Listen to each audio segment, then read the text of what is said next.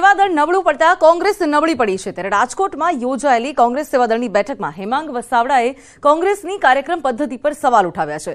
હેમાંગ વસાવડાએ સંગઠન મજબૂત બનાવવા પર ભાર મૂક્યો છે અને કહ્યું કે આપણે લોકોની વચ્ચે રહેવાનું હોય, પરંતુ આપણે તો લોકોથી દૂર થતા જઈએ છીએ.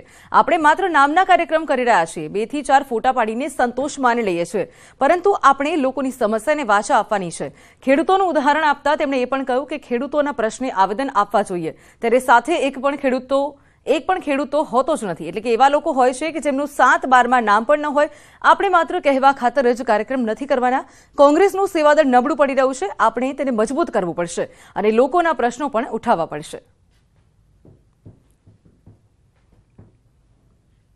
ખરેખર જીતતા ઉમેદવારોને કોઈ દી તાવા કરવા નથી પડતા, કોઈ દી ભજીયા ખવડાવવા નથી પડતા. લોકો ઘેરાવીને મત દઈ જાય છે. અને ક્યારે થાય છે? સંપર્ક હોય ત્યારે.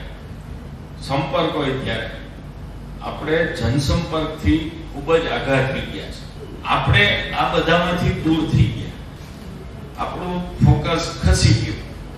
આપણું ફોકસ નીચે આવવું જોઈએ એને બદલે ઉપર થઈ ગયું.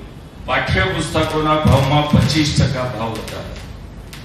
શાળાની ફીમાં દસથી પચીસ ટકાનો વધારો. મધ્યમ વર્ગ મરી ગયો છે. બાળકોને ભણાવતા ભણાવતા એક પણ જગ્યાએ રાજકોટ શહેર કે જિલ્લામાં કોંગ્રેસ બતાવો કે જે શિક્ષણ અધિકારી ત્યાં પહોંચી હોય અને કીધું હોય તમે આને મારી નાખો છો.